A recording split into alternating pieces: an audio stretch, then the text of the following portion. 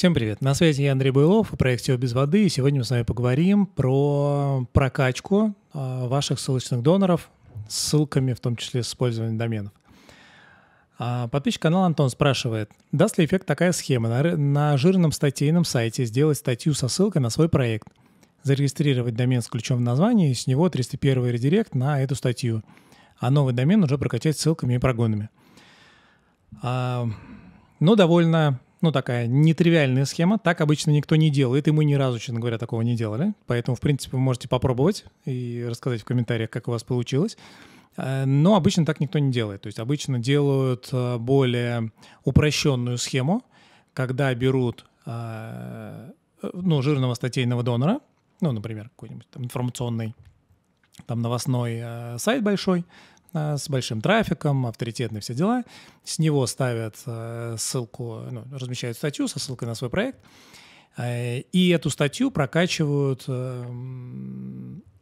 другими ссылками. То есть ставят ссылку на ссылку, это называется, ну, там, многоуровневое продвижение, или как Миша Шакин называет, там, удар шершня, ну, в общем, там много названий у этой схемы, но по факту это вот многоуровневые ссылки, то есть они там, первый уровень называется tier-1, второй уровень tier-2, третий tier-3, и они вот ссылаются друг на друга, и последний донор ссылается уже на продвигаемую страницу. За счет разгона э, статического веса, ну, то есть э, вес с каждого уровня передается на следующий, на следующий, на следующий, и на ваш сайт прилетает в итоге статического веса намного больше, чем пришло просто с той статьи. И, как правило, этой схемы достаточно. То есть э, и вот использовать историю с подклейкой доменов, эм, с ключом названия, ну, обычно так никто не делает. В том, что вы описываете, есть э, логика, эм, ну, как бы есть гипотеза, что это может лучше отрабатывать, чем обычная схема многоуровневых ссылок, а, в одном моменте, что вы будете регистрировать домен с ключом в названии, если вы его прогоняете по каталогам, то у вас будет а, ссылка с этих, с этих каталогов, с этих прогонов, с этих там крауд-ссылок, ссылка будет равняться или содержать название домена, а значит ваш ключ ну, потому что у вас домен в данном случае равняется вашему ключу. Ну, то есть фактически вы страницу донора прокачаете нужным вам ключом.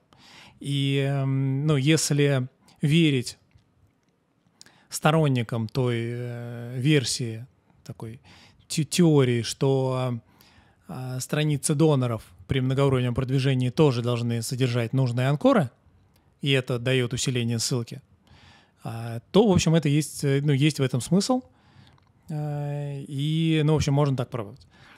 Я не очень верю в эту историю, то есть наши, ну, такие не очень масштабные эксперименты, скорее такие тесты, не подтверждают это, ну, то есть мы пробовали делать э, анкорно и безанкорно прокачивать предыдущие уровни, и, в общем, когда мы прокачивали анкорно, эффект, ну, как, как, какой-то заметной разницы мы не получили. То есть статический вес передается больше, и э, ну, в большинстве случаев не, ну, немного лучший эффект получается, Э, ну или вообще никакого эффекта, или немного лучший эффект э, от, в принципе, многоуровневых ссылок. Но сказать, что когда мы делаем эти многоуровневые ссылки анкорными, ну, то есть включающими нужные нам для продвижения слова, то ну, там такого эффекта заметного не заметили. То есть разницу какой-то не заметили. Вот. И ну, можете попробовать. То есть можете попробовать, ну, как бы я в эту историю не очень верю. Минус, в принципе, многоуровневой схемы, ну, я в каком-то видео уже про это рассказывал, э, и эм, в том, что а, вы а, ну, гадите людям, которые разместили жирную ссылку у себя. То есть вы договорились там за, ну, например, там за 30 тысяч рублей разместить э, на каком-то мощном сайте ссылку, ну, статью со ссылкой ну, какой-то большой информационный портал. Ну, грубо говоря, возьмем там, не знаю, РБК какой-нибудь. И вдруг к вашей статье подклеивается какой-то домен, через эту подклейку подклеиваются там тысячи каких-то ссылок не очень хороших. Ну и в случае, наверное, с РБК они даже, наверное, не будут отслеживать. Хотя если у них есть SEOшник и хоть как-то за этим следит, то они заметят и вполне могут, может вам за это прилететь. А, ну, потому что штука, ну, неоднозначная. Вы же не будете к себе подклеивать все это, ну, всю эту неоднозначную ссылочную массу. Вы специально подклеиваете через вот эту ссылочную прокладку для того, чтобы себе не навредить, потому что так бы вы просто к себе бы это все, э, это все мусора налили и все. Вот. И они это тоже понимают, и рано или поздно, массово используя, это, используя такую схему, вы столкнетесь с тем, что вы будете получать претензии э, от этих ребят.